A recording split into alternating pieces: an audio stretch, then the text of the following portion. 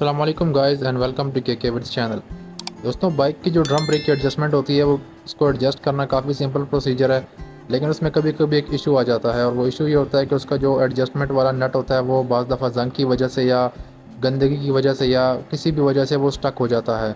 तो स्टक होने की वजह से फिर वो एडजस्ट नहीं हो पाता। जब पिछली ब्रेक होती है, उसमें रॉड लगा होता है रॉड फिक्स होता है तो उसके ऊपर जो जो नट होता है वो आप हाथ से आसानी से एडजस्ट कर सकते हैं या फिर किसी पाने का इस्तेमाल कर सकते हैं। तो रॉड जो होता है वो फिक्स होता है, वो रोटेट नहीं करता। रियर व्हील के मसला इतना नहीं होता। अब मसला होता है फ्रंट व्हील का।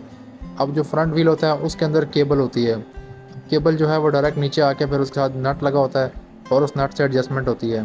तो अभी आप देख सकते हैं इसका जो है रस्ट लग गई है। तो रस्ट की वजह से जंग की वजह से ये जो नट है, ये जब रोटेट करते हैं तो अंदर पूरा जो रॉड है, जो चूड़ियाँ हैं, जो उसके ऊपर ये बैठा हुआ जो वायर है, पूरी रोटेट होती है। तो एडजस्टमेंट नहीं होती। यानी नट तो रोटेट करता है, लेकिन साथ में पूरी केबल और वो जो ऊपर थ्रेडिंग वाला रॉड है, वो भी घूमता है।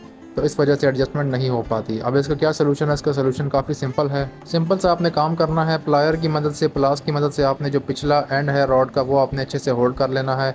और दूसरा किसी चाबी या पाने की मदद से आपने जो एडजस्टमेंट वाला नट है, उसको आपने रोटेट कर देना है, उसको टाइट कर देना है। या अगर आप लूज़ करना चाहते हैं तो लूज़ कर देना। अभी आप देख सकते हैं जो अंदर रॉड है, जो थ्रेडिंग वाला है, जिसके ऊपर नट बैठा हुआ है, वो भी रोटेट नहीं कर रहा। वो अपनी जगह पे फिक्स है, सिर्फ़ एडजस्टमेंट का नट आगे पीछे हो रहा है। तो इसकी मदद से आप प्लायर की मदद से आप इसको होल्ड करके इसको एडजस्ट कर सकते हैं बसानी तो ये था सिंपल सा प्रोसीजर एक हार्ड या फिर स्टक ब्रेक शू एडजस्टर को एडजस्ट करने का तरीकाकार। उम्मीद करता हूँ ये वीडियो आपके लिए मालूमती साबित होगी। वीडियो अच्छी लगी तो वीडियो को लाइक कर दीजिए, के के चैनल को सब्सक्राइब कीजिए और बेल आइकन को भी प्रेस कर दें। अपना दूसरों का ख्याल रखिएगा। अल्लाह हाफिज़।